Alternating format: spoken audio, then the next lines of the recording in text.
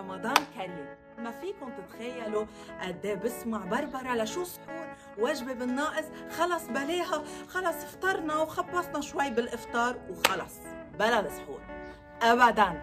أبدا. أبدا. نحن ابدا ما بننصح إن ناكل وجبة دسمه كبيرة ونعمل skip لكل ال meals الباقية. السحور هو meal ونحن لازم نكون عم نقسم وجباتنا. حيكون مقسمين لإفطار لسحور ولثري سناكس فأهم شيء أهم شيء أهم شيء نكون عم نقطع هيدا السحور. بس شرط هيدا السحور ما بده يكون طبخ.